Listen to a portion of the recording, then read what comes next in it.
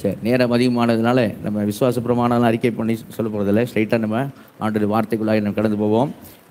உட்காந்து உட்காந்து பரவாயில்ல. எபேஷ் நிருபத்தை எடுத்துக்கொள்வோம். எபேஷ் நிருபத்தில் ரெண்டாம் அதிகாரம். எபேஷ் ரெண்டாம் அதிகாரத்தில் பத்தாவது வசனத்தை வாசி கேட்போம். ஏனெனில் நற்கிரியைகளை செய்கிறதற்கு நாம் கிறிஸ்து இயேசுக்குள் சிருஷ்டிக்கப்பட்டு தேவனுடைய செய்கையா இருக்கிறோம் அவைகளில் நாம் நடக்கும்படி அவர் முன்னதாக அவைகளை ஆயத்தம் பண்ணியிருக்கிறார். சார் நம்ம எல்லாம் கண்களை மூடி தேவ செய்திக்காக நாம் ஆண்டு நோக்கி பார்ப்போம். வல்ல பிதாவே நன்றுடைமை சுத்திரிக்கிறோம் துதிக்கிறோம். கிருபை மிரக்கம் தாயின் இருந்தவரே அப்பா அந்த வேலையிலும் குமார் நாங்கள் இயேசு நாமத்து வருகிறோம். ஆண்டவரே இந்த கால வேலையிலும் உங்களுடைய வார்த்தையை கொண்டு தேவன் எங்களோட பேசும்படியாக இடைபடும்படியாக நாங்கள் க்ஷமிக்கிறோங்க தான் தகப்பனே. வந்த உண்மை நாங்கள் போகாதபடிக்கு வார்த்தை பெற்றுக்கொண்டு போவதற்கு தேவன் எங்களை அனுக்கிறங்க பாராட்டும்படியாக இந்த அடிமை மறைத்த ஆவியானவர் நீங்கள் வெளிப்படும்படி கரத்தில் அர்ப்பணிக்கிறோம். பெரிய காரியங்களை செய்யும். எங்களை தாழ்த்துக்கிறோம் ஏசு நாமத்தை செவங்கள் ஜீவனங்கள் நல்ல பிதாவே. ஆமென். ஹalleluya. மறுபடியும் இந்த வசனத்தை வாசிங்க. எபேசிய ரெண்டாம் அதிகாரத்தில் பத்தாவது வசனத்தை நாம் வாசி கேட்போம். ஏனெனில் நற்கிரியைகளை செய்கிறதற்கு நாம் கிறிஸ்து இயேசுவுக்குள் சிருஷ்டிக்கப்பட்டு தேவனுடைய செய்கையா இருக்கிறோம். அவைகளில் நாம் நடக்கும்படி அவர் முன்னதாக அவைகளை ஆயத்தம் பண்ணியிருக்கிறார். ஹalleluya. இந்த வசனம் பத்தாவது வசனம் ஏனெனில் என்று சொல்லி ஆரம்பிக்கிறது என்ன செய்கிறோம் நம்ம பார்க்கிறோம். கவனிங்க போன வார செய்தியில் நாம் கேட்ட ஒரு காரியம் என்னன்னு சொன்னால் கிருபையினாலே விசுவாசத்தை கொண்டு ரட்சிக்கப்பட்டீர்கள் இந்த ரட்சிப்பு உங்களால் உண்டானது அல்ல. அல்லேலூயா. இது தேவனுடைய கிஃப்ட் தேவனுடைய ஈவாக இருக்கிறது என்று சொல்லி என்ன செய்தோம்? பார்த்தோம். இது கிருபையினால் உண்டாயிருக்கிறது. இது கிரியினால் என்ன செய்யவில்லை?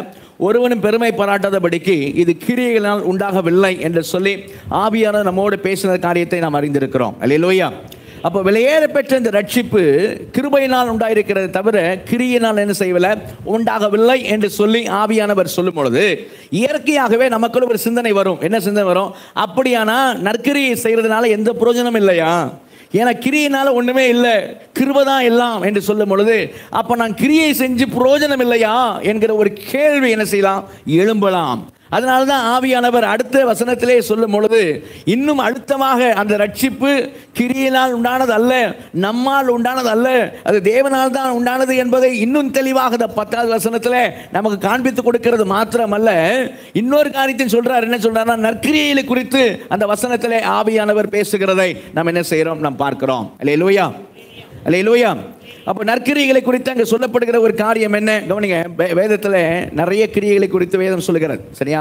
நீங்கள் கலாத்தியர் ரெண்டு பதினாறு பார்த்தீங்கன்னா நியாயப்பிரமாணத்தின் கிரியைகள் என்று என்ன செய்ய முடியும்? வாசிக்க முடியும். கலாத்தியர் ஐந்து பத்தொம்போது பார்த்தீங்கன்னா மாம்சத்தின் கிரியைகள் என்று என்ன செய்ய முடியும்? நீங்கள் வாசிக்க முடியும். எபிரேயர் ஆறு ஒன்று பார்த்தீங்கன்னா செத்த கிரியைகள் என்று சொல்லி போடப்பட்டிருக்கிறது என்ன செய்ய முடியும்? பார்க்க முடியும். பொல்லாத கிரியைகள் என்று யோவான் மூணாம் அதிகாரத்தில் பார்க்க முடியும். துர்க்கிரியைகள் என்று சொல்லி பார்க்க முடியும். இப்படி நிறைய கிரியைகளை குறித்து வேதம் சொல்கிறது ஆனால் இந்த வசனம் நமக்கு சொல்லுகிற கிரியை என்னன்னு சொன்னால் நற்கிரியைகளை குறித்து வேதம் சொல்லுகிறதை நாம் பார்க்கிறோம். அல்லேலூயா. அல்லேலூயா. அந்த வசனம் சொல்லுகிற ஒரு காரியம் என்னன்னு சொல்ல கவனிங்க. நிச்சயமாக அந்த வசனம் சொல்றது எபே- ரெண்டாம் அதிகாரம் பத்தாம் வசனத்தில் ஏனெனில் வார்த்தை கவனிங்க நற்கிரியைகளை செய்கிறதுக்கு நாம் கிறிஸ்து இயேசுவுக்குள் சிருஷ்டிக்கப்பட்டு தேவனுடைய செய்கையாய் இருக்கிறோம். கரெக்ட் நல்ல சொல்லுவோமா? தேவன் நம்மை சிருஷ்டித்திருக்கிறார். கவனிங்க கவனிங்க.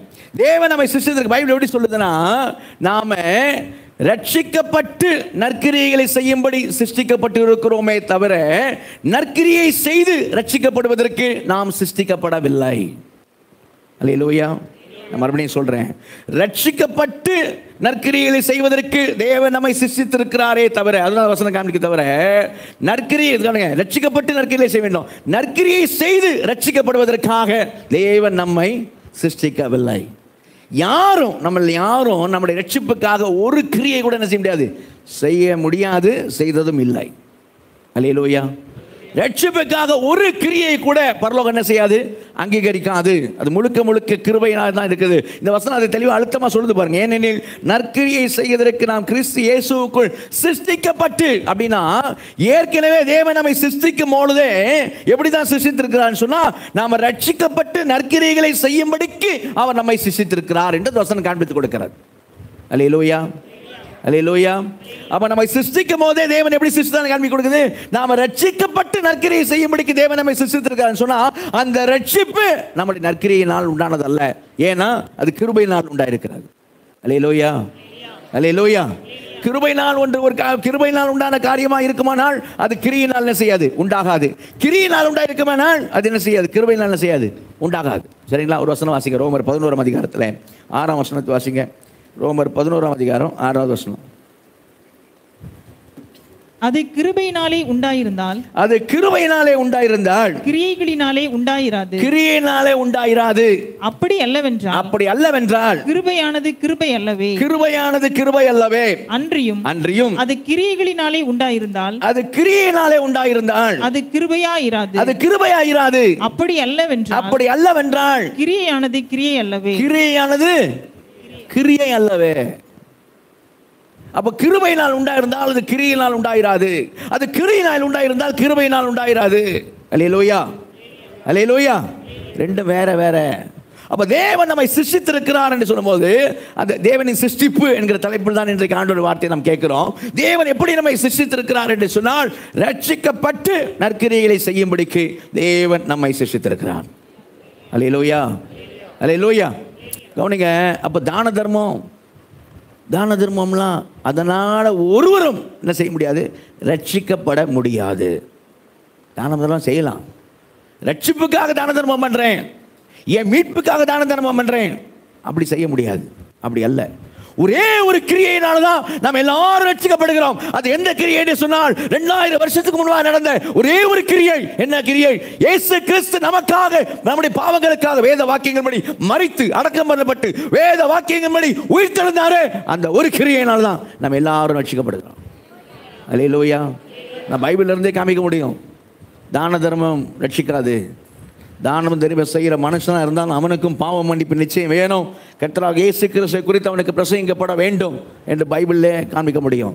அப்போஸ் நடவடிக்கைகள் பத்தாம் அதிகாரத்துங்களே வந்தான் அப்போஸ் நடவடிக்கைகள் பத்தாம் அதிகாரத்தில்.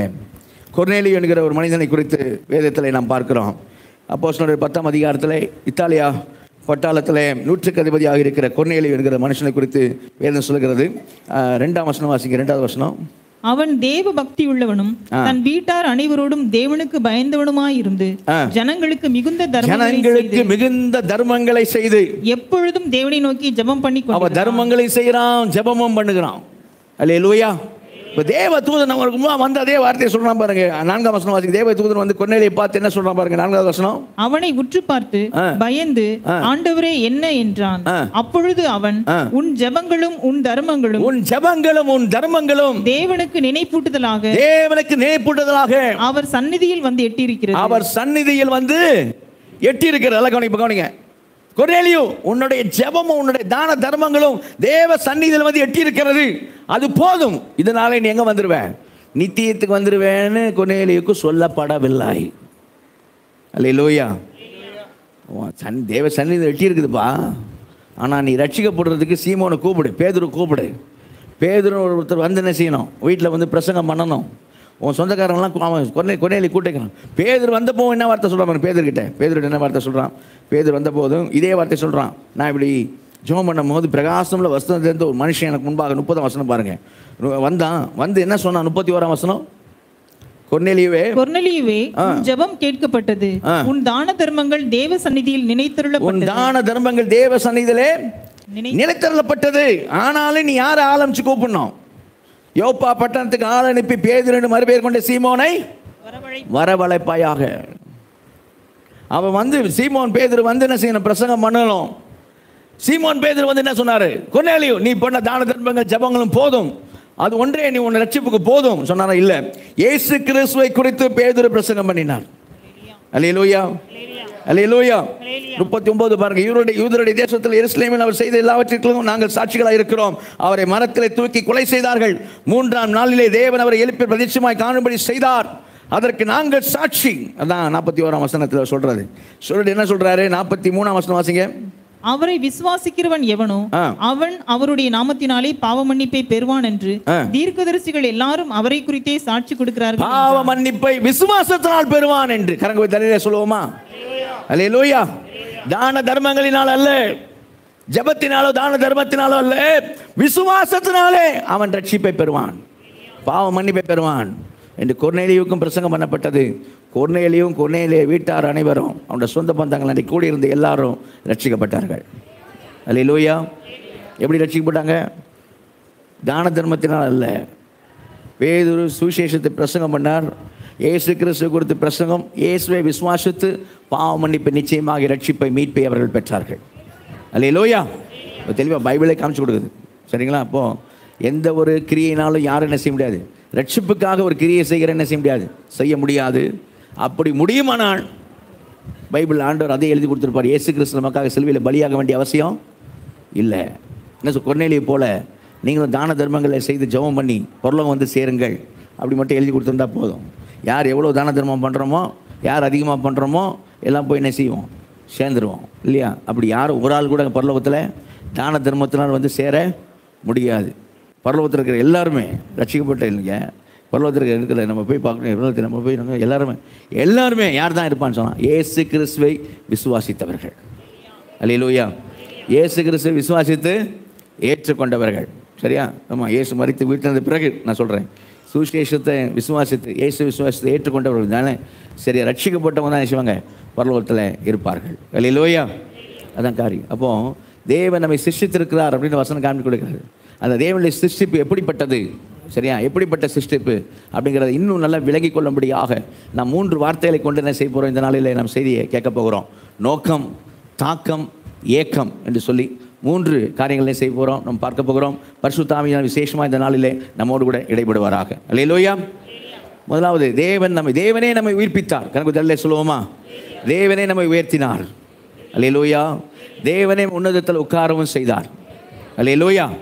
அப்படி எல்லாம் தேவனே செய்தார். சரியா? அதே தான் பைபிள் சொல்லுது நாம் நற்கரியை செய்யும்படிக்கு தேவனே நம்மை சிருஷ்டித்தார்.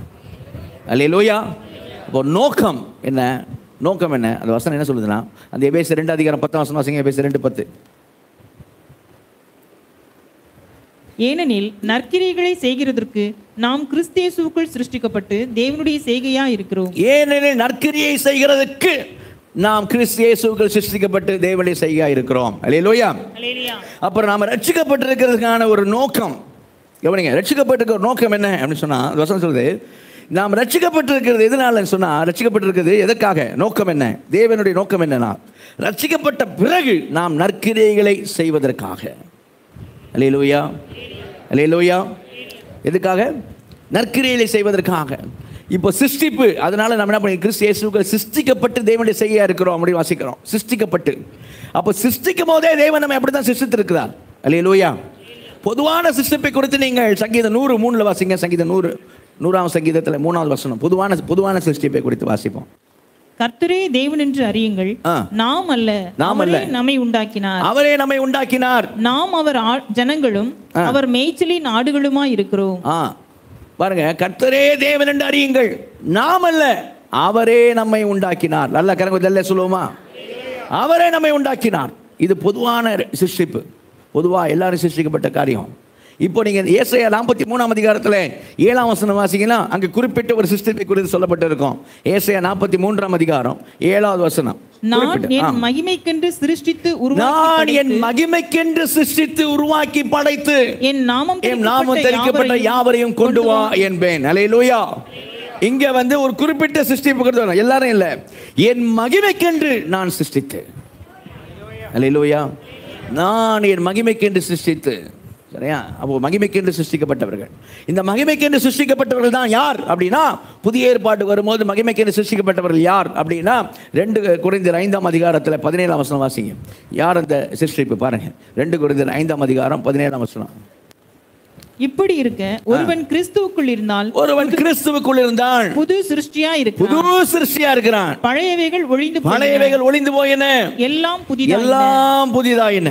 அல்லேலூயா இப்படி ஒரு கிறிஸ்துவுக்குள் இருந்தால் என்ன எப்படி இருக்கிறான் புது சிருஷ்டி. யாருங்க அந்த புது சிருஷ்டி? யார் புது சிருஷ்டி? யாரு? யார் புது சிருஷ்டி? கிறிஸ்து இயேசுக்குள் நான் தான் புதுசாக சிருஷ்டிக்கப்பட்டிருக்கேன் சொல்கிற மட்டும் கரங்க ஜல்லையில சொல்லுங்க. நம்ம தாங்க அந்த நியூ கிரியேஷன் அல்லேலூயா ரட்சிக்கப்பட்ட ஒவ்வொருவரும் நியூ கிரியேஷன் புது சிருஷ்டி. அல்லேலூயா நம்ம மறித்த நிலையில் இருந்தோம். தேவன் நம்மை உயிர்ப்பித்தார். அக்கிரமலின் பாவல் மறித்த நிலையில் இருந்தோம். சரிங்களா? ஆகாய அதிகார பிரபாக ஆவைக்கேற்றபடி நடந்து கொண்டிருந்தோம். இப்போ உயரத்திலே அவர் உயர்த்தி இருக்கிறார் அல்லேலூயா கோபாக்கினின் பிள்ளைகளாக இருந்தோம். உன்னதத்தில் கிறிஸ்துவோடு கூட நம்மை உட்கார வைத்திருக்கிறார். அல்லேலூயா நம்மை புது சிருஷ்டியா கிறிஸ்துவுக்குள்ள மாற்றிருக்கிறார் நம்ம பழைய பழையபடி இல்லை. அந்த பழைய மனுஷன் அவரோடு கூட சிலுவையில் அறையப்பட்டான். நம்ம ஞானஸ்தானத்தில் பழைய மனுஷனை அடக்கம் பண்ணி புது சிருஷ்டியாக கிறிஸ்துவுக்குள்ளே நாம் எழும்பி இருக்கிறோம் அல்ல லோயா நம்மளை தான் ஏசையா நாற்பத்தி மூணு ஏழு இஸ்ரேல் மக்களை சொன்ன காரியம் நமக்கு பொருந்தும். எதுன்னு சொன்னால் என் மகிமைக்கென்று சிருஷ்டித்து உருவாக்கி படைத்த யாவரையும் கொண்டு வா என்பேன். அல்ல லோயா அந்த நியூ கிரியேஷன் புது சிருஷ்டிப்பு இது கவனிங்க நம்ம ரட்சிப்பே வந்து தேவன் எப்படி நம்ம ரட்சித்தார் அப்படின்னு பார்க்குறோம். அந்த பேசியர் ஒன்னாதிகாரத்தில் நாலாம் வசனம் ஐந்தாம் வசனம் ஆறாம் வசனம் பார்த்தீங்க அப்படின்னு சொல்லி. தமக்குன்பாக நம்ம அன்பில் பரிசுத்தம் உள்ளவர்களும் குற்றமில்லாதவர்களாக இருப்பதற்கு அவர் உலகம் தோன்றதுக்கு முன்னே கிறிஸ்துவுக்குள் நம்மை தெரிந்து கொண்டபடியே. அல்லையிலோயா எப்போ? எப்போ நம்மளை தெரிந்து கொண்டார்? உலகம் தோன்றதுக்கு முன்னே கிறிஸ்துவுக்கு நம்மை தெரிந்து கொண்டபடியே பிரியமானவருக்கு தாம் நமக்கு தந்தலின நம்முடைய மறு நம்முடைய கிருபையின் மகிமைக்கு புகழ்ச்சியாக நம்முடைய தைவலை சித்தத்தின்படி நம்ம இயேசு கிறிஸ்து மூலமாய் தமக்கு சுயகார புத்திரர் ஆகும்படி நம்மை முன்குறித்திருக்கிறார். அல்லேலூயா நம்மை தெரிந்து கொண்டு முன்குறித்திருக்கிறது எவ்வளவு உண்மையோ? கவனிங்க. நம்மெல்லாம் கிறிஸ்துவுக்குள்ள தெரிந்து கொள்ளப்பட்டவர்கள். ரட்சிக்கப்படும்படி தேவன் நம்மை முன்குறித்து ரட்சிக்கப்படும்படி தேவன் நம்மை தெரிந்து கொண்டிருக்கிறாரே அதே தேவன். நல்ல கவனிங்க. எந்த தேவன் நம்மளை ரட்சித்து எந்த தேவன் நம்மை ரட்சிக்கப்படும்படி தெரிந்து கொண்டாரோ எந்த தேவன் ரட்சிக்கப்படும்படி அவருடைய சுகார புத்திராகும்படி நம்மளை முன்குறித்தாரோ அந்த தெரிந்து கொள்ள முன்குறித்தோடு கூடவே என்ன வருதுன்னு சொன்னா அவரே நம்மை சிருஷ்டித்தார். சிருஷ்டிக்கும் போது எப்படி சிருஷ்டித்திருக்கிறார்? அந்த முன்குறித்தல்படி நாம் ரட்சிக்கப்பட்டு நற்கிரையிலே செய்யும்படி தேவன் நம்மை சிருஷ்டித்திருக்கிறார். அல்லேலூயா. அதைத்தான் அந்த பத்தாம் வசனம் காமிக்கிறது ஏனெனில் நாம் என்ன சொல்லு பத்தாம் வசனம்? ஏனெனில் நாம் நற்கிரிகளை செய்யும்படி கிறிஸ்து இயேசுக்குள்ளே சிருஷ்டிக்கப்பட்டு தேவனுடைய செய்கையாக இருக்கிறோம். அல்லேலூயா. நம்மளெல்லாம் கவனிங்க நம்மளெல்லாம் தேவன் சிருஷ்டித்திருக்கிறார்னா முன்குறித்தார். முன்குறித்தபடி என்ன பண்ணியிருக்கிறார்? சிருஷ்டித்திருக்கிறார். முன்குறித்தபடி. அப்போ எப்படி முன் என்ன முன் குறிச்சாரு நாமெல்லாம் கிறிஸ்து இயேசுக்குள் ரட்சிக்கப்பட வேண்டும் என்று தேவன் நம்மை தெரிந்து கொண்டார். தேவன் நம்மை முன்குறித்தார். அப்போது தெரிந்து கொண்டு முன்குறிக்கும் போதே நம்மளெல்லாம் எப்படி தான் சிருஷ்டித்திருக்கிறான் பேர் சொல்லுதுன்னா இவன் நம்மளெல்லாம் முன்குறிச்சு இவங்கெல்லாம் ரசிக்கப்பட வேண்டாம். இவங்கெல்லாம் சரி என் பிள்ளைகளாக மாறணும் அப்படின்னு சொல்லி அவர் முன்குறிக்கும் போதே இவங்கெல்லாம் என் பிள்ளைகளாக மாறி நற்கிரைகளை செய்யணும் நற்கிரைகளை செய்யணும் நற்கிரைகளை செய்யணும் அப்படிதான் அவர் செய்திருக்கிறார். அல்லே லூயா அப்போ நம்ம எல்லாரும் என்ன கிரியை தான் செய்யணும் சொல்லுங்கள் சரி என்ன கிரியை தான் செய்யணும்? நான் சொன்னேன் செத்த கிரியை துர்க்கிரியை மாம்சக்கிரியை இதெல்லாம் நினச்சிக்கிட்டோமே. அதெல்லாம் செய்யக்கூடாது. என்ன கிரியை தான் செய்யணும்? நற்கிரியை தான் செய்யணும். அல்லையிலூயா நம்ம சிஷித்த நோக்கம் தான் அந்த பத்தாம் வசனக்காக நோக்கம். என்ன நோக்கம்? ஃபைனலாக போய் அங்கே போய் சேர போகிறோம் பரலோகத்தில் போய் நற்கிரியை செய்கிறேன்னு சொல்லக்கூடாது. அங்கே அவசியம் இல்லை. சரியா? அப்போ நோக்கம் என்ன அப்படின்னா நற்கிரியை செய்யணும். நற்கிரியை செய்வதற்காகத்தான் தேவன் நம்ம என்ன பண்ண கிறிஸ்து இயேசுக்குள்ளே சிஷித்திருக்கிறார் அப்படின்னு செய்யணும் வாசிக்கிறோம் அல்லே லோயா அல்லே லோயா கவனி கவனி நம்ம எல்லாம் இந்த இந்த அந்த கிறிஸ்து இயேசுக்கு சிருஷ்டிக்கப்பட்டு தேவனுடைய செய்கையாக இருக்கிறோம் அப்படிங்கிற வார்த்தை வருதில்ல செய்கையாக இருக்கிறோம் இங்கிலீஷ் பைபிள் பார்த்தீங்கன்னா ஒர்க்மேன்ஷிப் அப்படின்னு வரும். சரிங்களா? அதுக்கு கிரேக்க வார்த்தை என்னென்னா பொயமாய் பொயம் பொயமாய் அப்படின்னு பொயமாய். பொயமா அப்படின்ற வார்த்தையில் இருந்தால் பொயம் அப்படின்ற வார்த்தை இங்கிலீஷ் போயம் இங்கிலீஷ் போயம்னுவாங்கல்ல சிலர் போம் அப்படின்வாங்க சிலர் போயம்னுவாங்க கவிதை அப்படின்ற வார்த்தை வந்தது அந்த வார்த்தையில் தான் தேவனுடைய செய்கையாக இருக்கிறோம் அப்படிங்கிற வார்த்தை. அப்படின்னா எப்படி தம்மா அங்கே சொல்லப்பட்டிருக்குது? நம் ஒவ்வொருவரையும் தேவன் கவிதையாக எழுதியிருக்கிறாராம். இந்த நான் சொல்லியிருக்கேன். நீங்களே சொன்னீங்க பார்த்தீங்களா உங்களை ஒவ்வொருவரையும் கத்தரை ஆஸ்வதிப்பார். அல்லையிலூயா நம்ம ஒவ்வொருவரையும் தேவன் எப்படி எழுதியிருக்கிறாராம்? ஒரு கவிதையாக தேவன் எழுதின கவிதை. ஒரு கவிதை நல்லா இருக்குது நம்ம பா நம்ம படிக்கிறோம் அப்படின்னு வைங்களேன். படித்த கவிதை நல்லா இருக்குது அப்படின்னு நல்லா இருக்குன்னு நம்ம ஃபீல் பண்ண உடனே அடுத்து நம்ம தாட்டில் என்ன வரும்? எழுதுனது யார்? கரெக்டு எழுதுனது இந்த கவிதைக்கு புன் பின்பாக இதை உருவாக்கின ஒருவர் இருப்பார். இந்த சாட்லாம் படம் வரைஞ்செல்லாம் போட்டிருக்காங்க. சரியா? இப்போ இந்த படத்தெல்லாம் பார்க்குறோம். ரைட் நல்லா இருக்குது சூப்பராக வரைஞ்சிருக்காங்க பிள்ளைங்க. சண்டே ஸ்கூலுக்காக டீன் பிள்ளைங்க டீன்ஸ் கேர்ள்ஸ் செஞ்ச காரியம். சரியா? அர்ப்பணிச்சு செஞ்ச காரியம். இப்போ இதெல்லாம் வரைஞ்சிருக்காங்க நல்லா வரைஞ்சிருக்காங்க. நல்லா வரைஞ்சிருக்காங்க அப்படின்னு நம்ம நினச்சோம் அடுத்து நமக்கு என்ன தோணும்? அடுத்த தாட் என்ன வரும்? யார் வரைஞ்சது? அல்லையிலூயா யார்? வரைஞ்சது. அந்த மாதிரி தான் இங்கே சொல்லப்பட்டிருக்கு. எப்படி தெரியுமா? நம்ம நம்ம நம்மளை பார்க்கும்போது நம்ம அவருக்காக சிருஷ்டிக்கப்பட்டிருக்கிறோம். வழக்கறிய எப்படி சிருஷ்டிக்கப்பட்டிருக்கோம்னா ஊஸ் டிசைன் இஸ் திஸ் யாருடைய டிசைன் இவர்கள்? இவனுக்கு பின்பாக இவரை சிருஷ்டித்தவர் யார்? இதே வார்த்தை அந்த போயமாய் அப்படின்ற வார்த்தை பைபிளில் ரெண்டு இடத்துல தான் வந்து. ஒன்று எபேசி ரெண்டு பத்தில் வருது இன்னொன்று இன்னொரு ஒரே ஒரு இடத்துல தான் வருது பைபிளில்.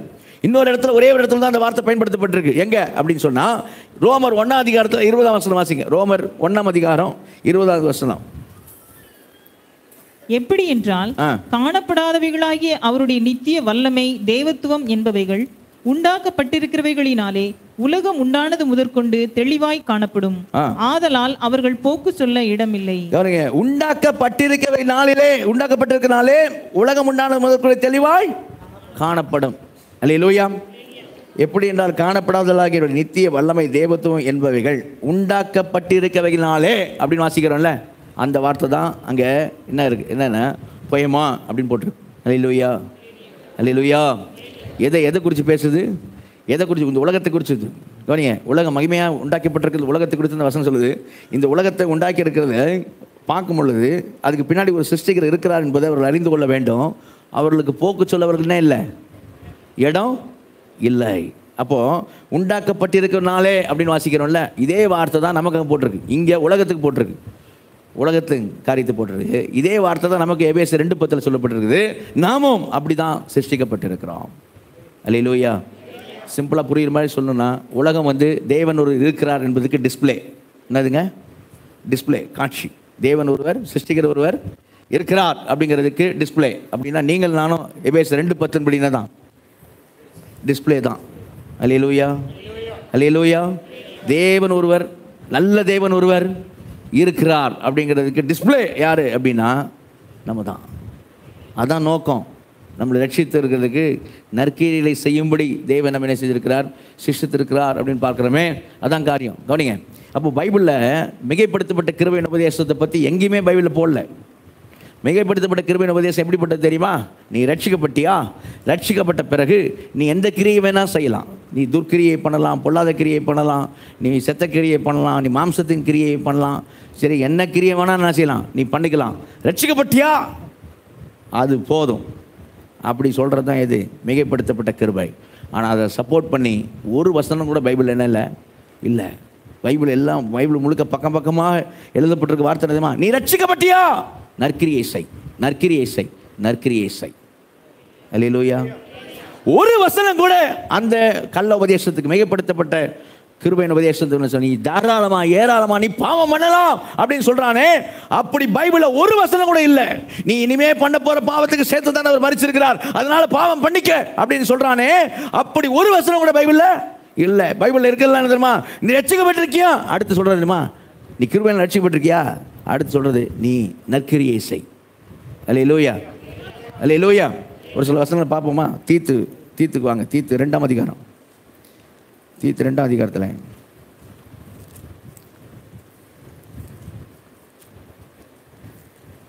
பதிமூணாம் வருஷம் வாசிங்க. தீத்து ரெண்டு. பதினாலு பதினாலு வருஷம் பதினாலு. அவர் நம்மை சகல அக்கிரமங்களினின்று மீட்டுக்கொண்டு தமக்குரிய சொந்த ஜனங்களாகவும் நற்கிரியைகளை செய்ய பக்தி வைராக்கியம் உள்ளவர்களாகவும் நம்மை சுத்திகரிக்கும்படி நமக்காக தம்மை தாமே ஒப்பு கொடுத்தார் அல்லேலூயா. அவர் நம்மை சகல அக்கிரமங்களிலிருந்து மீட்டுக்கொண்டு தமக்கு சொந்த ஜனங்களாகவும் அதுக்கப்புறம் என்ன செய்ய? நற்கிரியலை செய்ய. லூயா அவர் தெரிந்து கொண்டார் ரட்சித்திருக்கிறார். நீ முந்தின வருஷம் பார்த்தீங்கன்னா தெரியும். பதினோரு வருஷம் பன்னெண்டு வருஷம் பதிமூணு வருஷம் பார்த்தீங்கன்னா ரட்சிப்பு தான் பேசும் ரட்சி பற்றி சொல்லிட்டு பதினாலு வருஷமும் அதான் சொல்லுது. என்ன சொல்லுது? அவர் ரட்சித்திருக்கிறார். இது தெரியுமா? அவருக்கு சொந்த ஜனமாகவும் நீ நற்கிரியை செய்கிறதுக்காக அல்லேலூயா. இப்போ நீ மூணாம் அதிகாரம் வந்து ஐந்தாம் வசனம் பாருங்க. மூணாம் அதிகாரம் ஐந்தாம் வசனம் என்ன சொல்லுது. நாம் செய்த நீதியின் கிரியைகளின் நிமித்தம் அவர் நம்மை ரட்சியாமல் தமது இரக்கத்தின்படியே மறுஜென்ம முழுக்கினாலும் பரிசுத்த ஆவியினுடைய புதிதாக்கு புதிதாக்குதலினாலும் நம்மை ரட்சித்தார் தொடர்ந்து வாசிக்க நம்ம ரட்சித்தார் தமது கிருபையினாலே நாம் நீதிமான்கள் ஆக்கப்பட்டு. நித்திய ஜீவன் உண்டாகும் என்கிற நம்பிக்கையின்படி சுதந்திரராகத்தக்கதாக. அவர் நமது இரட்சகராகிய இயேசு கிறிஸ்து மூலமாய் அந்த பரிசுத்த ஆவியை நம்மேல் சம்பூரணமாய் பொழிந்தருளினாள். இந்த வார்த்தை உண்மை உள்ளது ரட்சி பத்தி பேசிட்டு என்ன சொல்லுது இந்த வார்த்தை உண்மை உள்ளது. தேவனிடத்தில் விசுவாசமானவர் தேவனிடத்துல விசுவாசமா இருக்கிறவர்கள் நற்கிரியைகளை செய்ய ஜாக்கிரதையாய் நற்கிரியைகளை செய்ய ஜாக்கிரதையா இருக்கும்படி நீ இவைகளை நீ இவைகளை குறித்து திட்டமாய் போதிக்க வேண்டும் என்று விரும்புகிறேன். அலையலூயா அல்லேலூயா. எதை செய்யும்படி ஜாக்கிரதையா இருக்கும்படி? ரட்சிக்கப்பட்டவர்கள் எதை செய்யும்படி? சொல்லுங்க சொல்லுங்க பேசுங்க. எதை செய்யும்படி? நற்கிரியை. செய்யும் ரட்சிக்கப்பட்டவங்க நற்கிரியை செய்யணும்.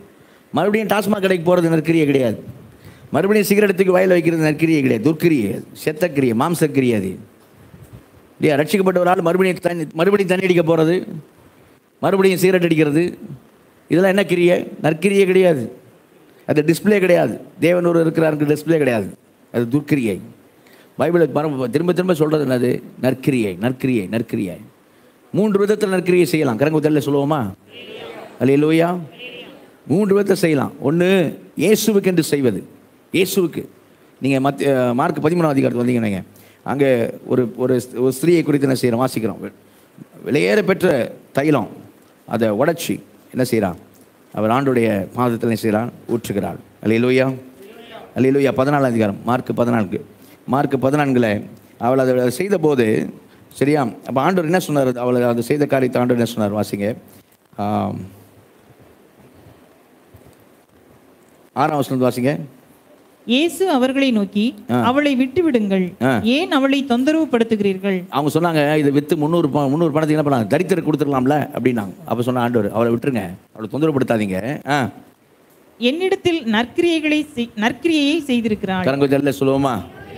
என்னிடத்துல நற்கிரியை செய்திருக்கிறாள். அல்லேலூயா. அவ எனக்குன்னு செஞ்ச கிரியை நற்கிரியை. தரித்திரருக்கு செய்யலாம். உங்களோட எப்போ தரித்திரம் இருக்கிறாங்க செய்யுங்க. செய்யலாம்.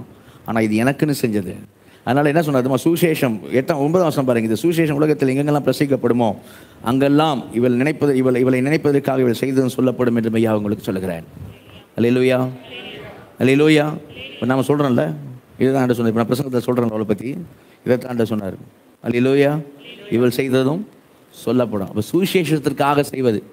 அதுதான் இயேசுக்காக செய்வது. ஏன்னா இயேசு சொல்லும்போது தன்னையும் சுவிசேஷம் ஒன்றா வச்சு பேசு என் நிமித்தமாக சுவிசேஷ நிமித்தமாகவோ என் நிமித்தமாக சுவிசேஷ நிமித்தமாக வீட்டையாவது நிலத்தையாவது தாயாவது தகப்பனையாவது விட்டவன் எவனும் அப்படி வரும். என் நிமித்தமாகவோ சுவிசேஷ நிமித்தமாக என் நிமித்தமாக சுவிசேஷ நிமித்தமாகவோ ஜீவனை இழந்து போகிறேன் எவனோ? என் நிமித்தமாகவோ சுவிசேஷ நிமித்தமாகும் அப்போ முதல் நற்கிரியை எதுக்கு செய்கிறது சுவிசேஷத்துக்கென்று விதைப்பது. சுவிசேஷத்துக்கென்று. சரிங்களா? சுவிசேஷத்துக்கென்று விதைக்கிறக்காரு. ரெண்டாவது மிஷன் ஊழியத்துக்கென்று தர்ம சகாயம் செய்வது. மிஷன் ஊழியத்துக்கு தாங்குறோம்ல? அது ஒரு நற்கிரியை. நீங்கள் ரெண்டு குருதியர் ஒன்பதாம் அதிகாரத்துக்கு வரும் பொழுது ரெண்டு குருதியர் ஒன்பதாம் அதிகாரத்தில். எட்டாவது வசனம் வாசிங்க.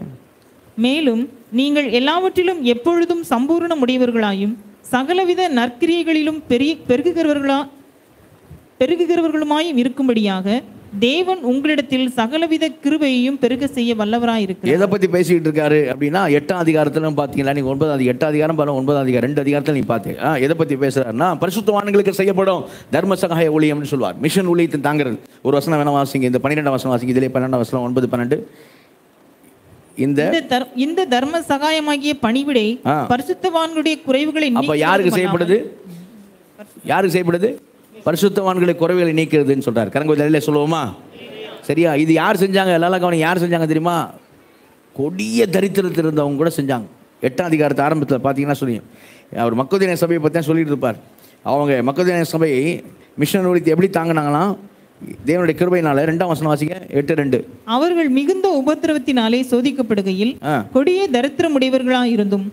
தங்கள் பரிபூரண சந்தோஷத்தினாலே மிகுந்த உதாரத்துவமாய். பரிபூர்ண சந்தோஷத்தினாலே மிகுந்த உதாரத்துவமாய் கொடுத்தார்கள். எப்படி? பரிபூர்ண சந்தோஷத்தினால். கொடிய தரித்திரலா இருந்தால் மிகுந்த உபத்திரப்படுகையில் சோதிக்கப்படுகையில் அவங்க கொடிய தரித்திரமுள்ளா இருந்தும் பரிபூர்ண சந்தோஷம் பண்ணாங்க. கொடுத்தார்கள். கொடிய தரித்திரம் மிகுந்த உபத்திரவம். சரியா? ஆனாலும் என்ன செஞ்சாங்க? அவங்க கொடுத்தாங்க அப்படின்னு செய்கிறோம் பார்க்குறோம். அவங்க திராணிக்கு மேலே கொடுக்கறதுக்கு மனதுள்ளவர்களாக இருந்தார்கள். மூணாம் வசனம் சொல்லுது. அல்லையிலோயா அல்லையிலோயா இயேசுவுக்கு சுவிசேஷத்துக்காக எல்லாரும் விதைக்கணும். அல்லையிலோயா அதே போல் மிஷன் ஒழித்து எல்லாரும் என்ன செய்யணும்? தாங்கணும். தரித்திரம் ஒரு ஒரு சாக்கா என்ன சொல்லிட்டு நம்ம சொல்லக்கூடாது. எனக்கே பத்த மாட்டேங்குது. அப்படி சொல்லக்கூடாது. அவங்க கொடிய தரித்திரம் உள்ள இருந்தாலும் என்ன பண்ணியிருக்காங்க பைபிளுக்கு தான் நான் காமிக்கிறேன். சரியா? அதைத்தான் ஒரு குருதி சபைக்கு சொல்றாரு. அந்த மக்கள்தான் சபை அப்படி இருக்கிறாங்கல்ல? அந்த மாதிரி நீங்கள் என்ன பண்ணுங்க? ஒன்பதாம் அதிகாரம் எட்டாம் வசனம் பார்த்தீங்கன்னா மேலும் நீங்கள் எல்லாவற்றிலும் எப்போதும் சம்பூர்ணமுடையவர்களாகும் சகலவித ரெண்டு குருதி ஒன்பது எட்டு சகலவித நற்கிரியில பெருகிறலா இருங்கள் அல்லேலூயா. சகல நற்கிரியில் என்ன பண்ணுங்க? பெருகுங்க. பரிசுத்தவான்களுக்கு என்ன செய்யுங்க? பண்ணுங்க. மிஷன் ஒழித்து தாங்குங்க. அல்லேலூயா. அல்லேலூயா. சபையில் இருக்க ஐஸ்வர்யவான்கள் அவங்களுக்கு என்ன சொல்லப்படுது? இந்த மூணு வகையானதுன்னு சொன்னேன். ஒன்று மத்தி ஆறாம் அதிகாரம் வாங்க. ஒன்று மத்தி ஆறாம் அதிகாரத்தில் பதினேழாம் வருஷத்தை வாசிங்க. பதினேழு பதினெட்டு. இவ்வுலகத்திலே ஐஸ்வர்யம் உள்ளவர்கள் இவ்வுலகத்திலே ஐஸ்வர்யம் உள்ளவர்கள். இருமாப்பான சிந்தை உள்ளவர்களாய் இராமல் இருமாப்பான சிந்தை உள்ளா இராமலும்? நிலையற்ற ஐஸ்வர்யத்தின் மேல் நம்பிக்கை நல்ல கடமை வெளியே சொல்லுவோமா? ஐஸ்வர்யத்துமே நம்பிக்கை வையாமலும் போட்டிருந்தாலும் கரெக்டு தான். ஆனால் ஆவியானவர் அங்கே ஒரு ஸ்ட்ரெஸ் கொடுக்குறாரு பாருங்க. நிலையற்ற. எப்படிப்பட்டது? நிலையற்றது. ஒன்று நீ போயிடுவ இல்லை அது போயிடும் ஒன்று விட்டு. அல்லையே லூயா ஒன்று நீ விட்டுட்டு போயிடுவ. இல்லைன்னா ஒரு மனுஷன் பிரசங்கி புத்தகம் பன்னெண்டு அதிகாரம் வாசித்தான்னு வைங்களேன் தெளிவாயிடுவான்.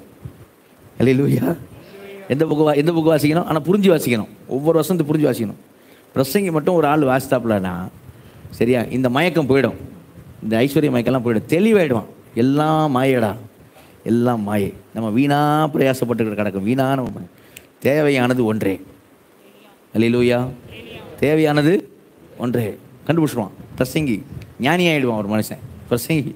புத்தகத்தை கண்ட போட்டுருவான் எப்படி? நிலையற்ற ஐஸ்வர்யத்துமே நம்பிக்கை வையாமலும் வாசிங்க. நாம் அனுபவிக்கிறதற்கு. சகலவித நன்மைகளையும்.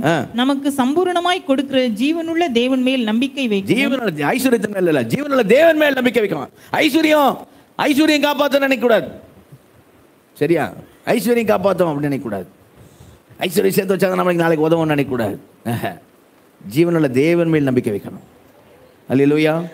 நம்பிக்கை வைக்கவும். நன்மை செய்யவும் நன்மை செய்யவும். நற்கிரைகளில் ஐஸ்வர்யவான்களாக நல்ல கரங்குதல்ல சொல்லுவோமா? எதில் ஐஸ்வர்யவான்கள் இருக்கணுமா? நற்கிரியைகளை ஐஸ்வர்யவான்களாகவும். அல்லையா அல்லேலூயா. நற்கிரியில் ஐஸ்வர்யவான்களாகவும் தாராளமாய் கொடுக்கிறவர்களும் உதார குணம். உதார குணமுள்ளவர்களாய் இருக்கவும் நித்திய ஜீவனை நித்திய ஜீவனை பற்றி பற்றிக் கொள்ளும்படி வருங்காலத்திற்காக வருங்காலத்திற்காக தங்களுக்கு நல்ல ஆதாரத்தை பொக்கிஷமாக தங்களுக்கு நல்ல ஆதாரத்தை பூமியில் இல்ல வருங்காலத்திற்காக. அப்படின்னு நினைச்சுக்கலாம். நம்ம அடுத்த பத்து வருஷத்துக்கு அப்படி நினைச்சு கூடாது. வருங்காலம்னா அங்கே நித்திய ஜீவனுக்கு தான். நித்திய ஜீவனை பற்றி கொள்ளும்படி வருங்காலத்திற்கு தங்களுக்கு நல்ல ஆதாரத்தை பொக்கிஷமாக வைக்கவும் அவர்களுக்கு கட்டளையிடு. அவர்களுக்கு என்ன பண்ணு ஊழியக்காரன்? என்ன போட்டிருக்கு. அவர்களுக்கு சொல்லு. தயவா சொல்லு. அப்படி போட்டிருக்கு. கட்டளையிடு இது கட்டளை. அப்படி சொல்லு. அப்போ இதை செய்யணும். ஐஸ்வர்யவான்கள் சபையில் விசேஷ விசேஷமாக விசுவாச குடும்பத்தாருக்கு என்ன செய்யணும்? உதவி செய்ய கடவும் பைபிளோட தான் சொல்லுது. ஒரு ஒருவர் என்ன செய்யணும்? தாங்கணும்.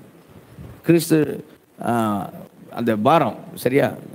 அந்த பாரத்தை ஒரு ஒரு பாரத்தை நீங்கள் சுமந்து கிறிஸ்துவின் பிரமாணத்தை என்ன பண்ணுங்கள்? நிறைவேற்றுங்கள். அல்லையா செய்யணும். சரியா? நல்லா நிறைய நிறைய நீங்கள் செய்கிறீங்க நான் கேள்விப்படுறேன். என் மனுஷன் நானே சந்தோஷப்படுறேன் அப்படின்னா பரலோகம் மிகுந்த சந்தோஷமாக இருக்கும். அல்லையிலோயா தொடர்ந்து உங்கள் நற்கிரிகள்னே நீங்கள் பெருகுங்கள். கத்துறவங்களை ஆசிர்வதிப்பார். அல்லையிலோயா அப்போ நம்ம எதுக்கு தான் ஒரு நோக்கம் நோக்கம் என்ன அப்படின்னா ஒரு நோக்கம் இதுக்கு தான் இதுக்காக தான் நினச்சி அப்படி நினச்சிடக்கூடாது. ஒரு நோக்கம் என்ன? ரட்சிக்கப்பட்டிருக்க ஒரு நோக்கம். எவேஸ் ரெண்டு பத்து சொல்லுது ஏனெனில் நாம் நற்கிரிகளை செய்யப்படி கிறிஸ்து இயேசுக்குள் சிருஷ்டிக்கப்பட்டு தேவனுடைய செய்கையாக இருக்கிறோம். அல்லையிலோயா எதுக்காக? எதுக்காக? நற்கிரியை செய்யும்படி சிருஷ்டிக்கப்பட்டு. அல்லையிலோயா அல்லையிலோயா நற்கிரியை செய்யும்படி சிருஷ்டிக்கப்பட்டு. கவனிங்க நம்ம சிருஷ்டிக்கப்பட்டோம் அப்படிங்கிறதுக்கு அந்த சங்கீதம் நூறு மூணில் வாசம் தெரியுமா? நாமல்ல அவரே நம்மை உண்டாக்கினார். நல்ல கிழமை தெல்ல சொல்லுவோமா? அவரே நம்மை உண்டாக்கினார்னா நாம நாம நம்மளை சிருஷ்டிக்கலை. எந்த மனுஷனும் தன்னைத்தானே சிருஷ்டித்துக் கொள்ளவில்லை. எந்த டிராயிங்கும் தானாக வரைஞ்சிக்காது. எந்த கவிதையும் தானாக எழுதாது. சரியா? அப்போது நம்மை அவர் சிருஷ்டித்திருக்கிறாரே நம்ம அந்த சிருஷ்டிப்புக்கு நம்ம ஒரு பாட்டு நம்ம எதாவது பண்ணுமா நம்மை அவர் சிருஷ்டிப்பதற்கு நம்ம எதாவது பண்ணணுமா? எதாவது பண்ணுமா ஒன்றும் பண்ணலல்ல. அதே மாதிரி தான் அதே மாதிரி தான் நம்ம ரட்சிப்புக்கு நம்ம ஒன்றும் பண்ணலை. நல்ல கரும்பு தெரியல சொல்லுவோமா? நம்ம சிருஷ்டிப்புக்கு எப்படி நம்ம ஒன்றும் பண்ணலையோ அது போல நம்ம ரட்சிப்புக்கு நம்ம ஒன்றுமே பண்ணலை. தேவனுடைய தயவு. தேவனுடைய கிருவை தேவனுடைய இரக்கம் நமக்கு கிடைத்திருக்கிறது. அல்லேலூயா அது என்னால் என்ன செஞ்சு விடாம மறந்துடக்கூடாது சிருஷ்டி நம்ம நற்கிரி செய்யும்படி சிருஷ்டித்திருக்கிறார் அப்படிங்கிறதுக்கு ஒரு உதாரணம் சொல்கிறேன் ஏமி கார்மைக்கிள் பற்றி மிஷன் ஸ்டோரியில் விபிஎஸில் அருமையாக சும்மா ரொம்ப சூப்பராக மிஷன் ஸ்டோரி ஒவ்வொரு நாளும் ஜெஸி ஸ்டர் அவங்க ஜெசி ஜோஷ்வா அவங்க ஒவ்வொரு நாளும் எடுத்தாங்க. ரொம்ப அருமையாக எடுத்தாங்க பிள்ளைகளுக்கு. நல்லா ப்ரிப்பேர் பண்ணி ரொம்ப அருமையாக எடுத்தாங்க. ரொம்ப நல்லா இருந்துச்சு. அதில் ஒரு நாள் ஏமி கார்மைக்கிள் பற்றி அவங்க சொன்னாங்க. அவங்க சொல்லாத ஒன்று நான் இப்போ சொல்கிறேன் சரியா? ஏமி கார்மைக்கல் பற்றி சொன்னேன் ஏமி கார்மைக்கலோட வீட்டில் சரியா? அவங்க வந்து அவங்க ஃபாரின் சரியா? இங்கிலாந்து தேசன்றாங்க அந்த தேசத்தில் ஏமி கார்மைக்கல் வந்து அவங்க வீட்டில் அவங்க அந்த பிள்ளைங்கள் எல்லாருக்குமே ப்ளூ ஐஸ் இருக்குமா? நீலக்கண்கள் எல்லா பிள்ளைங்களுக்கும். ஏமி கார்மைக்கலுக்கு மட்டும் பிளாக் ஐஸ் இருக்குமா? நம்மள மாதிரி கண்கள். சரியா? மற்ற எல்லா பிள்ளைங்களும் ப்ளூ ஐஸ் அந்த இந்த அம்மாவுக்கு மட்டும் பிளாக் ஐஸ் அப்போ இந்த அம்மா அவங்க அம்மாட்ட கேட்பாங்களாம். அம்மாட்டையும் அப்பாட்டையும். ஏம்மா நமக்கு நம்ம குடும்பத்தில் இன்னும் எல்லா பிள்ளைங்களும் எப்படி இருக்காங்க? அக்கா அண்ணன் தம்பி தங்கச்சி எல்லாம் எப்படி இருக்காங்க? எல்லாம் க ப்ளூ நீல கண்களாக இருக்குது. எனக்கு மட்டும் ஏன் கருப்பு கண்ணு? எனக்கு மட்டும் ஏன் கருப்பு கண்ணாகுது ஏன் எனக்கு மூணு நீல கண்ணு இல்லை? அப்படின்னு வாங்கலாம் சரியா? அப்போ சிருஷ்டிக்கும் போதே தேவன் எப்படி சிருஷ்டித்திருக்கிறார்? இந்தியாவுக்கு மிஷினரியாக வரும்னே சிருஷ்டித்திருக்கிறார். நல்ல கரமத்திலே சொல்லுவோமா? அவங்களுக்கு அப்போ தெரியல. எப்போ தமிழ்நாட்டில் திருநெல்வேலியில் டோனாவூர் வில்லேஜ் வந்தாங்க திருநெல்வேலிக்கு வந்தாங்களோ அப்போதான் தெரிஞ்சது இந்த மக்களுக்காக தான் இந்த கண்கள் சிருஷ்டிக்கப்பட்டிருக்கிறது. அல்லே லோயா என்னை மாத்திரம் தேவன் குடும்பத்தில் நீல கண்கள் அல்லாமல் இந்த மாதிரி கண்கள் நான் இந்தியனுடைய கண்களில் எனக்கு ஆண்டவர் தந்திருக்கிறார். அல்லே லோயா இல்லையா? ஆமாம் அந்த மாதிரி ஒரு ஒரு சின்ன ஒரு இது பாட்டு தான் சொல்றது.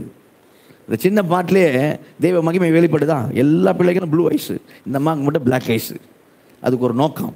அதான் சொல்ல வரேன் நோக்கம். நம்மை சிஷித்திருப்பதற்கு நம்மை ரட்சித்திருப்பதற்கு தேவனுக்கு நோக்கம் உண்டு. அல்ல லோயா அந்த வசனம் சொல்லுது. எது என்ன நோக்கம்? சொல்லுங்க என்ன நோக்கம்? என்ன நோக்கம்? நற்கிரியைகளை செய்யும். நான் ஏனெனில் நாம் கிறிஸ்து ஏனெனில் நாம் நற்கிரியை செய்யும்படி கிறிஸ்து இயேசுக்குள் சிருஷ்டிக்கப்பட்டு தேவனுடைய செய்கையாக இருக்கிறோம். அல்ல லோயா நம்ம கிரியை செய்யணும். என்ன தான் கிரியை செஞ்சணும் என்ன தான் கிரியை செய்யணும்? நற்கிரியை தான் செய்யணும். வேற? துர்க்கிரியை என்ன செய்யக்கூடாது? யாருக்கு எந்த தீமையும் செய்யக்கூடாது. தீங்கு செய்ய நினைக்கக்கூடாது. தாட்டிலே வரக்கூடாது தீங்கு செய்கிறதுக்கு என்ன தான் செய்யணும்? நற்கிரியை தான் செய்யணும். நல்ல கிரியை தான் செய்யணும். கரங்க தெரியல சொல்லுவோமா? சில நேரங்களில் சில மனிதர்கள் நம்ம தப்பாக புரிஞ்சுக்கிடுவாங்க. இப்போ நான் சொன்னல ஊழியர்கள் பயங்கர ஸ்ட்ரிக்டாக சொன்னல காரியங்கள்லாம். இப்போ அவங்க நினைக்கலாம் என்னண்டு இவ்வளோ பாஸ்டர் இவ்வளோ ஸ்ட்ரிக்டாக ஏன் இப்படி பண்ணுறாங்க பாஸ்டர் அவங்களுக்கு இப்போ புரியாது. அந்த போதனமான நாட்கள் வரும்போது புரியும். அலே லோயா அன்றைக்கி மட்டும் எங்கள் பாஸ்டர் அப்படி எனக்கு பிடிக்கலன்னா நான் பாட்டுக்கு அங்கேயும் இங்கேயும் சுற்றின்னு வந்திருப்பேன் பைபிள் படிச்சிருக்க மாட்டேன் பிரோஜனமாக பயன்படுத்தியிருக்க மாட்டேன். இன்றைக்கி ஆண்டவரால் வளமையை பயன்படுத்தப்படுறேனே அதுக்கு அந்த மனுஷனும் ஒரு காரணம் தான். என்னை உட்கார பிடிச்சி உட்கார வச்சார். ஓடுற ஆள் என்ன பண்ணார்? மாமா ட்ரெயின் ஏற்ற போகிறேன் சித்தப்பாவை ட்ரெயின் ஏற்ற போகிறேன் சித்தியை ட்ரெயின் ஏற்ற போகிறேன் சரியா? அப்படி ஓன ஆள் என்ன பண்ணுறாரு பிடிச்சி வச்சிருக்கிறாரு. சரியா? அப்படி பிடிச்சி வச்சு படுறா பைபிளை அப்படின்னு போட்டனால தான். இப்போ பிள்ளைங்களை நர்சரி ஸ்கூலில் போட்டால் பிள்ளைங்க என்ன செய்யும்? ஸ்கூலில் போட்டோன்னு பிள்ளைங்க சிரிச்சினே போனால் எத்தனை பிள்ளைங்க போகும் சிரிச்சிக்கினே. எத்தனை பிள்ளைங்க ஸ்கூலுக்கு சிரிச்சினே போகுது நர்சரி பிள்ளைங்க? நர்சரி ஸ்கூல்னாலே ஒரு நர்சரி பேபி கிளாஸ்னாலே என்ன தாங்க நீங்கள் என்ன சொல்லுவீங்க தெரியல எனக்கு? பால்வாடியா? பால்வாடியில் என்ன தான் அழுகையாக தான் இருக்கும் வான்னு கத்தின்னு இருக்கும். ஏன் கத்துது? அதுங்களுக்கு புரியல. என்ன புரியல? அம்மா நம்ம நன்மைக்கு தான் ஸ்கூலில் போட்டு போகிறா அப்படின்ட்டு. அது மாதிரி சில நேரம் சில காரியங்கள் புரியாது. சில நேரம் சில காரியங்களை செய்யாது.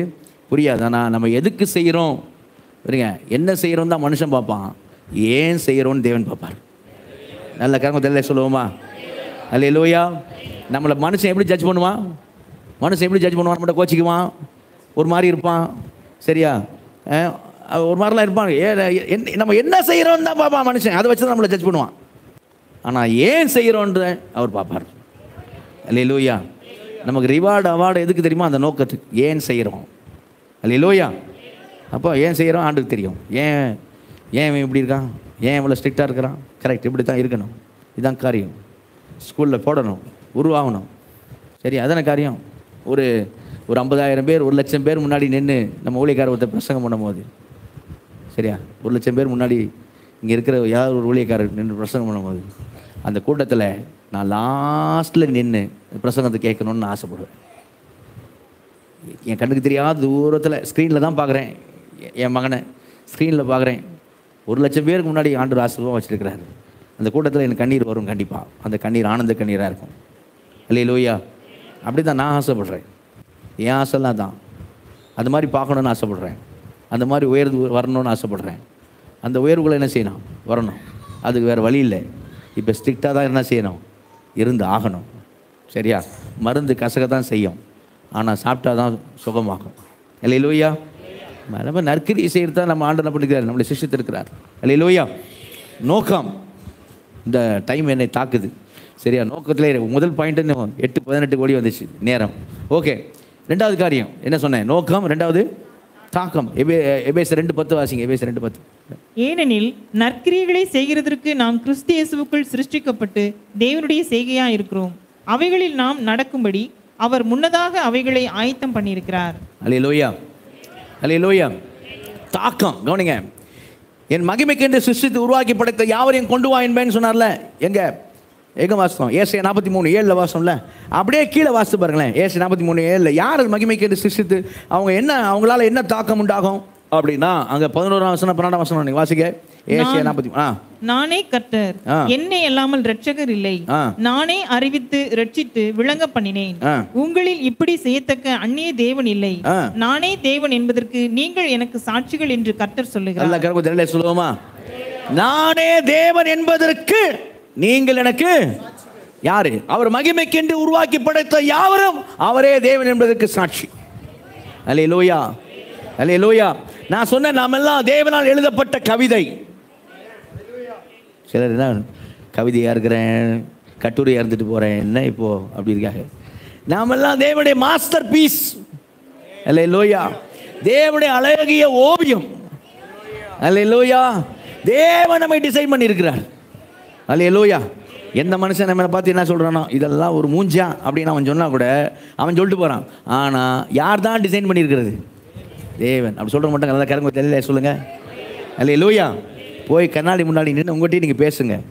உங்கள்கிட்டயே பேசுங்க ஆண்டட்டையும் பேசுங்க. நல்லா இருக்கேன். ஆண்டவரே சூப்பர் டிசைன். தேங்க்யூ லாட் சொல்லுங்கள் அல்ல லூயா சிலருக்கு இப்போ வெக்கம் வருது. கண்ணாடி முன்னாடி போய் நான் என்னை பார்த்து சொல்கிறதா அப்படின்னு. உண்மையில் இது காட்ஸ் டிசைன் அல்ல லோயா அல்ல லோயா தேவனால் நம்ம சிருஷ்டிக்கிறோம். தேவனுடைய டிசைனாக இருக்கிறோம். இப்போ தேவனுடைய டிசைன் சொன்னால் நான் சொன்னேன் இதே வார்த்தை இந்த பொயமா அப்படின்ற வார்த்தை எங்கே உபயோகப்படுத்துறது? ரோமர் ஒன்று இருபதில் போட்டிருக்குன்னு சொன்னேன். ரோமர் ஒன்று இருபதுலையும் அது என்ன தான் காமிக்குது? நீங்கள் வேணா வாசித்து ரோமர் ஒன்று இருபதுக்கு வருங்க முந்தின வசனங்கள்லாம் வாசிங்க. பதினெட்டு பத்தொன்பது இருபது வாசிங்க. ரோமர் ஒன்றில் பதினெட்டு பத்தொன்பது இருபது.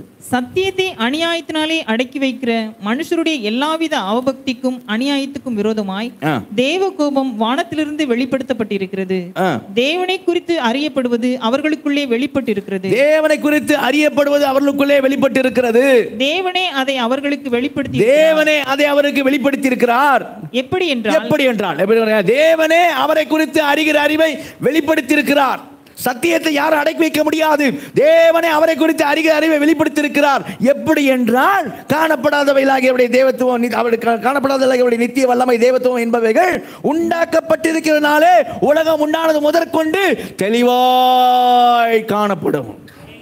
அல்லேலூயா அப்ப என்ன சொல்லப்படுது? சத்தியத்தை அறிகிற அறிவு தெளிவா வெளிப்படுத்தப்பட்டிருக்கிறது. எப்படி என்றால் காணப்படாதலாகிய அவருடைய நித்திய வல்லமை தேவத்துவம் என்பதெல்லாம் உண்டாக்கப்பட்டிருக்கிற இந்த உலகத்தை பார்க்கும் பொழுது அவன் அந்த டிஸ்பிளே பார்க்கும் பொழுது அவன் அறிந்து கொள்ள வேண்டும் என்று அந்த வசனம் சொல்லுது. அதே போல தேவனால் சிருஷ்டிக்கப்பட்ட புது சிருஷ்டிகளை அவன் பார்க்க ஒரு மனிதன் பார்க்கும் பொழுது அவன் சத்தியத்தை அறிய வேண்டும். அல்லேலூயா. அந்த மாதிரி தாக்கம் நம்மளால உண்டாகணும். உண்டாகுதா? இல்லை வேறு மாதிரி உண்டாகுதா?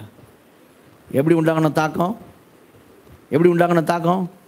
அந்த மாதிரி தாக்கம் நம்மளால என்ன நம்மளால் என்ன செய்யணும்? உண்டாகணும்.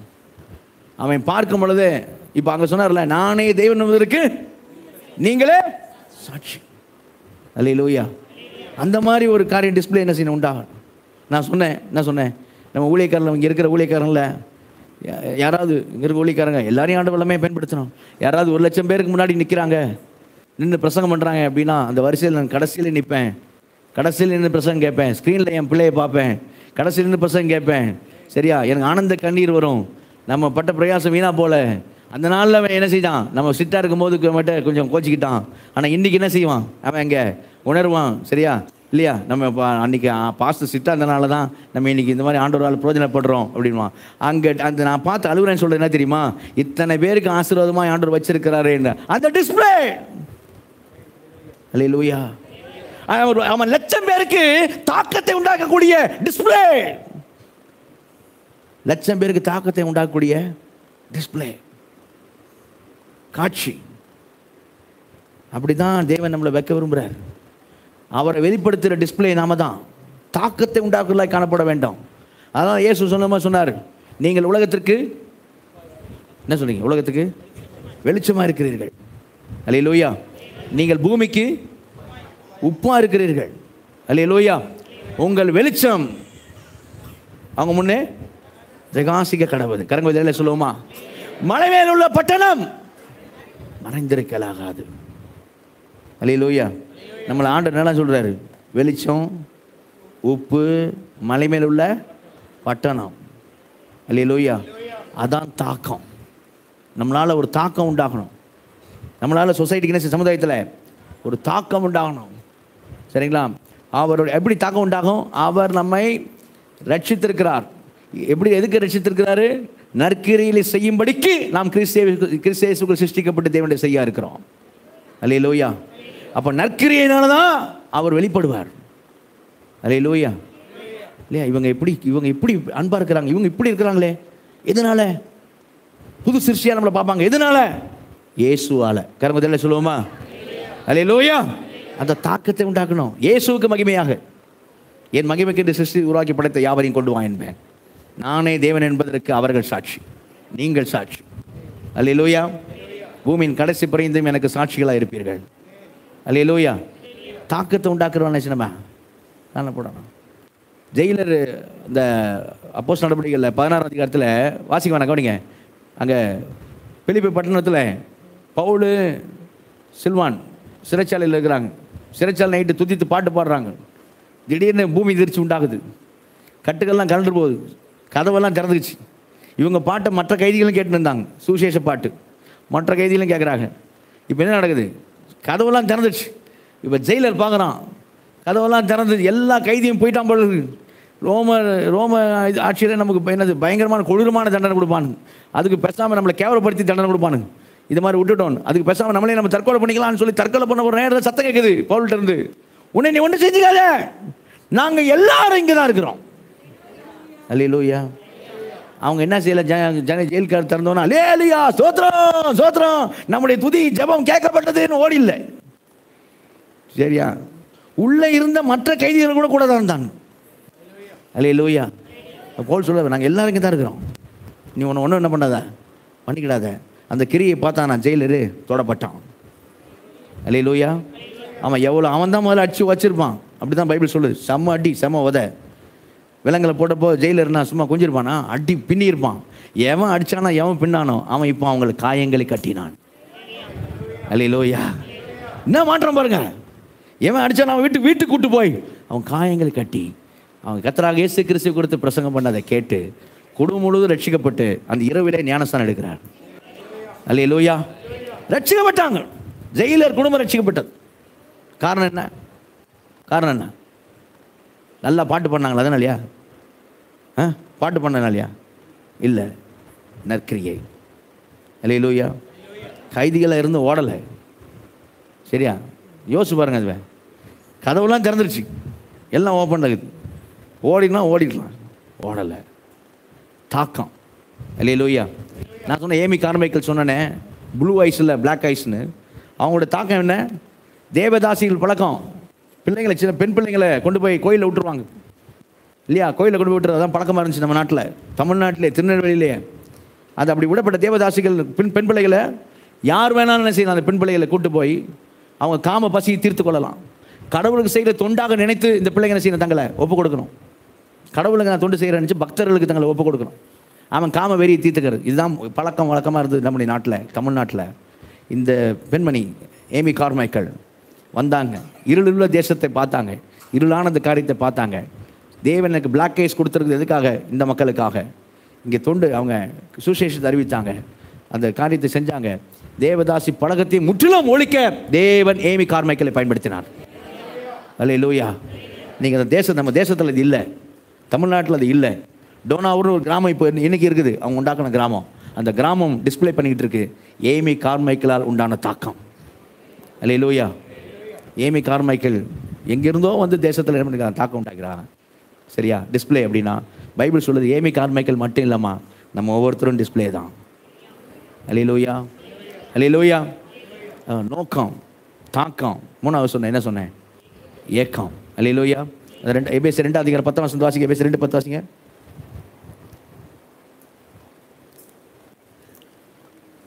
ஏனெனில் நற்கிரியைகளை செய்கிறதற்கு நாம் கிறிஸ்து இயேசுவுக்குள் சிருஷ்டிக்கப்பட்டு தேவனுடைய செய்கையாக இருக்கிறோம்.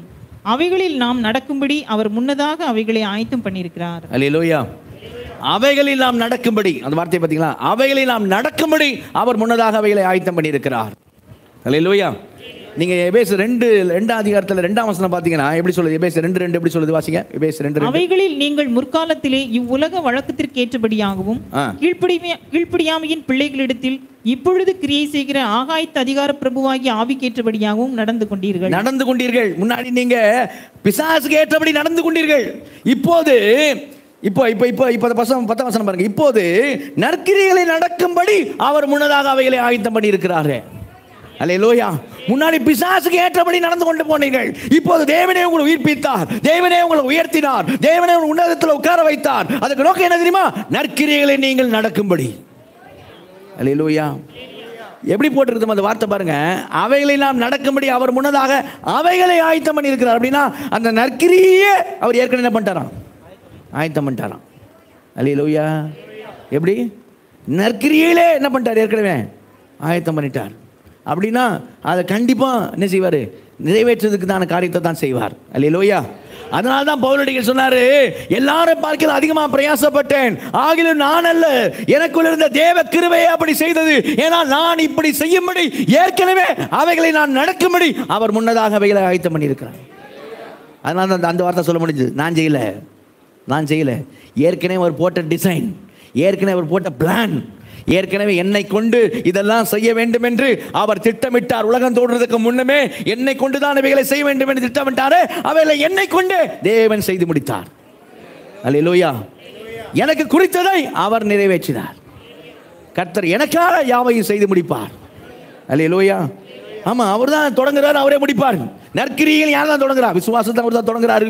நற்கிரி நீங்க பாருங்க பிலிப்பேர் ஒண்ணா அதிகாரம் ஆறாம் வசனம் பாருங்க. பிலிப்பேர் ஒண்ணு ஆறு வாசிங்க. பிலிப்பேர் ஒன்று ஆறு. நான் உங்களை நினைக்கிற பொழுதெல்லாம் என் தேவனை ஸ்தோத்திரிக்கிறேன். என் கட்டுகளிலும் நான் சுவிசேஷத்திற்கு. உங்களில் நற்கிரியை தொடங்கினவர். அதை இயேசு கிறிஸ்துவின் நாள் பரியந்தம் முடிய நடத்தி வருவார் என்று இங்கிலீஷ் பைபிள் ஆறாம் வசனம் தமிழ்ல ஐந்தாம் வசனம். ஓகே உங்களின் நற்கிரியை தொடங்கினவர். கரங்க விதலே சொல்லுவோமா? நம்மள என்ன தொடங்கி என்ன தொடங்கி இருக்கிறாரா நற்கிரியை தொடங்கினவர் அதை இயேசு கிறிஸ்து நாள் பரியந்தும் முடிய நடத்தி வருவார் என்று நம்பி. அல்லேலூயா. அதனால தான் ரெண்டாம் அதிகாரம் வந்தீங்கன்னு வைங்களேன். உங்கள் ரட்சிப்பு நிறைவேற பிரயாசப்படுங்கள் அப்படின்னு வசனம் சொல்லணும். நம்ம பிரயாசப்படுன்ற மாதிரி வசனம் சொல்லும். இல்லையா? பன்னிரெண்டாம் வசனம் பார்த்தீங்கன்னா உங்கள் ரட்சிப்பு நிறைவேற நீ என்ன பண்ணுங்க? பிரயாசப்படுங்கள் அப்படின்னு சொல்லிட்டு பதிமூணாம் வசனம் சொல்லுது. ஏனெனில்? ஏனெனில் தேவனே தேவனே தம்முடைய கருத்தால சொல்லுவோமா? தேவனே தம்முடைய தயவுள்ள சித்தத்தின்படி விருப்பத்தையும் செய்ய உங்களில? உண்டாக்குகிறவராய் இருக்கிறார். தேவனே உண்டாக்குறார் இருக்கிறார். அவரே விருப்பமும் தருகிறார் அவரே செய்ய உண்டாக்குறார். அல்லே லூயா அப்ப ரெண்டுமே சொல்லுது பைபிள். என்ன சொல்லுது? அவர் செய்கிறேன்றாரு நீ உன்னை ஒப்புக்கொடு. அல்லே லோயா அப்போ நமக்கு இருக்க வேண்டிய என்ன தெரியுமா? நோக்கத்தை அறிஞ்சிட்டோம் கவனிங்க நோக்கத்தை அறிஞ்சிட்டோம் தாக்கத்தையும் பார்த்துட்டோம். சரியா? ஏசு நம்ம எப்படி இருக்க சொல்றாரு? ஏமி கான்மைக்கல் லைஃப்லாம் எப்படி? தாக்கத்தையும் பார்த்துட்டோம். பவுலோட வாழ்க்கையின் தாக்கம் ஜெயிலர் குடும்பம் ரட்சிக்கப்படுது. சரியா? அதையும் பார்த்துட்டோம். இல்லையா? இப்போ நமக்கு இருக்க வேண்டியது என்னது? என்ன இருக்கணும்? ஏக்கம். ஆண்டவரே ஏமி கார்மைக்கல் போல பவுலடிகளை போல என்னையும் என்ன பண்ணுங்க? என்னையும் பயன்படுத்துங்க. என்னை கொண்டு தாக்கத்தை உண்டாக்குங்க. உலகம் உண்டாக முன்பு என்னை கொண்டு என்ன செய்யணும்னு நீங்கள் முடிவு பண்ணீங்களோ ஆண்டவரே. அதை என்னை கொண்டு நீங்கள் செய்து முடிங்க. என்னை முழுசாக தரேன். கரங்கத்தில் சொல்லுவோமா? என்னை கொண்டு என்ன செய்யணும்னு நீங்கள் சித்தம் வைத்தீங்களோ அதை என்னை கொண்டு செய்து முடிங்க ஆண்டவரே. நான் முழுசாக என்ன தருகிறேன். அல்லையிலோயா அந்த ஏக்கம் நமக்கு இருக்கணும். சரியா? ஒரு ஏவி கார்மைக்கில் நீர் பயன்படுத்தோம்னா என்ன என்ன பண்ணுங்க? பயன்படுத்துங்க ஆண்டவரே. என்ன எனக்கு என்ன காரியத்துக்காக டிசைன் பண்ணிங்க? என்னை வச்சு என்னெல்லாம் செய்யணும்னு நீங்கள் நினச்சிங்க ஆண்டவரே? அது என்ன இருந்தாலும் சரி அதுக்கு என்ன நான் ஒப்பு கொடுக்குறேன். அல்லையிலோயா அதுக்கு என்ன நான்? அந்த ஏக்கம் நம்ம எல்லாருக்கும். இதுதான் தேவன் நம்ம ரட்சித்த நோக்கம்னு பார்க்குறோம். அந்த நோக்கத்தில் உண்டாகக்கூடிய தாக்கம் என்னன்னு பார்க்குறோம். அப்புறம் முக்கியமாக நமக்கு என்ன தேவை? அடுத்து ஏக்கம் வேணும். அல்லையிலூயா ஆனால் கிறிஸ்து அல்லாமல் எதுவும் இல்லை. கரங்குதில் சொல்லுவோமா? ஏன்னா இப்போ எபேஸ் ரெண்டு பத்து வாசிங்க எபேஸ் ரெண்டு பத்து வாசிங்க எபேஸ் ரெண்டு பத்து. ஏனெனில் ஆ. நற்கிரியைகளை செய்கிறதற்கு நாம் கிறிஸ்து இயேசுவுக்குள் ஏழையிலே நற்கிரியைகளை செய்கிறதுக்கு நாம் கிறிஸ்து இயேசுவுக்குள் சிருஷ்டிக்கப்பட்டு. அல்லேலூயா. யாருக்குள்ள சிருஷ்டிக்கப்பட்டோம்? சகலமும் அவரை கொண்டு அவருக்கென்று அவராலே உண்டாயிருக்கிறது. அல்லேலூயா அப்ப எப்படி உலகம் உண்டாகிறதுக்கு இயேசு மூலமாக தான் உண்டானதோ? இயேசுவுக்கென்று இயேசுவை கொண்டு இயேசுவுக்காக எப்படி உண்டானதோ? அதே போல புது சிருஷ்டியாக நாமும் இயேசுவுக்குள்ளதான் சிருஷ்டிக்கப்பட்டு அல்லேலூயா கிறிஸ்துவுக்குள்ளதான் நாம் நற்கரியை செய்யும்படி என்ன பண்ணி என்ன பண்ணிருக்கோம்? நாம சிருஷ்டிக்கப்பட்டு தேவனுடைய செய்கையாக இருக்கிறோம். அல்லேலூயா அப்போ கிறிஸ்து அல்லாமல் ஒண்ணுமில்லை. சரியா? அப்போ நமக்கு ஏக்கம் இருக்கிறது மட்டும் இருக்க இருக்கிறது ஏக்கத்தோடு நின்றக்கூடாது. அது நடக்கணும் அப்படின்னா நம்மள அதிக நம்ம இது வந்து கவனிங்க இது வந்து ஃப்ரூட் ரூட் வந்து வேர் வந்து விசுவாசம். ஃப்ரூட் என்னது? நற்கிரியைகள். அல்லேலூயா நான் ரட்சிக்கப்பட்டிருக்கிறேன் அப்படிங்கிறது என் கிரியையில தெரியும். கனிகளில் தெரியும் கனிகள் ஃப்ரூட்ஸ் கனிகளை தெரியும். அப்போ அந்த ஏக்கம் அதிகமாக கனி கொடுக்கணும் அப்படின்னு நாம் விரும்பணும்னு வைங்களேன். நல்லது. ஏக்கம் வரணும். அப்படி அதிகமாக கனி கொடுத்தோன்னு வைங்க. யோவான் பதினஞ்சு எட்டு வாசிங்களேன். ஏசு சொல்கிற வார்த்தை வேறு யோவான் பதினஞ்சு எட்டு.